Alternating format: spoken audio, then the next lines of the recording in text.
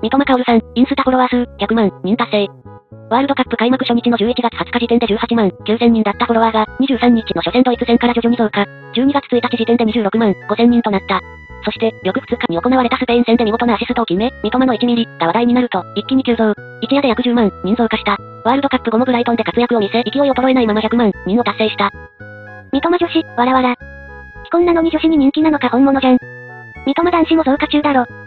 20万から100万、はすごいな。プレミアでも屈指のドリブルで有名になってきたしまだまだ伸びていきそうだ。激しくハゲそうなのが心配や。イケメンは仮にハゲてもイケメンだよ。プレミアリーグで活躍、筑波大卒、嫁が大学の同級生、178センチ、顔は中野の上、若ハゲ、これで人気が出ないわけがない。上の5個だけだと男の妬みを買うけど一番下で中和されてるんだな。おっさんだけどスーツの動画は定期的に見てしまう。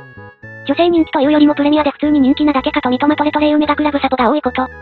ビッグクラブとかも注目しだしたし海外のファンが増えてるんだろうな。もうちょいスポーツニュースで定期的に追っかけてほしいね。ルックスだけなら南野も負けてないのに何が違うんよ。実力。南野の方がフォロワー多いが。三笘の1ミリオン。すごい謙虚なのにプレイはイケイケなのがギャップ。周りの選手の出来次第の今までの選手と違って三笘は本物だから持ち上げるのも理解できる。三笘はかっこいいのでしゃあない、許す。